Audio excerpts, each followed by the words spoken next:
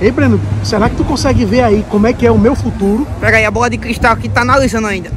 Ah, meu Deus, Rapaz. que, o que será que o futuro reserva pra mim, hein? Pelo jeito, a bola de cristal tá dizendo que seu futuro tá meio feio. Tá meio feio. Olha só o que a bola de cristal tá falando.